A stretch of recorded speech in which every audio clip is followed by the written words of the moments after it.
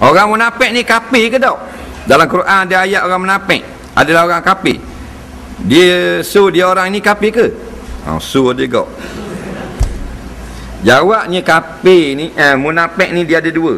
Munafik akidah dan munafik akhlak. Munafik akidah ni hak dalam Quran tu. Nampak? Ha.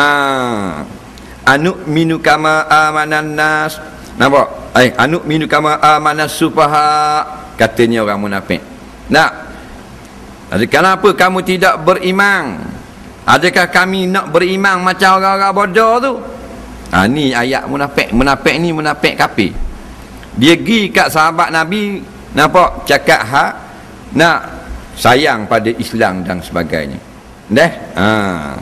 Tapi dia balik pada puak-puak dia, dia kata kami buat main-main je. Nampak buat lolok je. Dah? Hak ni munafik kafir. Nah, Zohir dia pergi ke Mekah, beci pada Islam. Zohir kita tengok sembahyang jemaah, beci pada hukum dalam Quran. Tak suka kepada ha, perkara-perkara akhirat. Ha, ni munafik kafir. Dah. Munafik akhlak ni hak Nabi kata perbuatan orang munafik.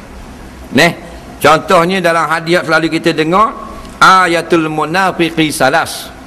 Tanda-tanda orang munafik itu tiga. Nak ha. Iza ahdasa kadhiba bila cakap pelawak. Neh. Ha. bila cakap pelawak. Berahi lebong. Ha, berahi lebong ni munafik tak? Tapi bukan munafik kafir. Akhlak orang munafik. Dia Islam. Eh, dia berdosa pada Allah. Nak? Ha. Wa iza wa'ada akhlafa. Bila janji tak tunai janji. Nak? Ha, khabar itu tak ingat tuan-tuan dan puan-puan nak ha sokonglah saya. Saya tak akan hampakan tuan-tuan dan puan-puan. Dan apa upa. Nampak tak? Bayar menang. Ha tu je tu. Ang munafik akhlak. Faham tak? Bukan jadi kafir tak. Ha, kafir tu orang lain. Hak beci Islam dalam hati dia tak tunjuk orang tak ditunjuknya dia pergi ke Mekah dia sembelih gerbang tapi bila orang nak laksanakan Islam, dia nombor satu sekali beri tentangan. Dia tak reda tengok hukum Quran tertegak di bumi Malaysia. Itu ha, munafik kafir.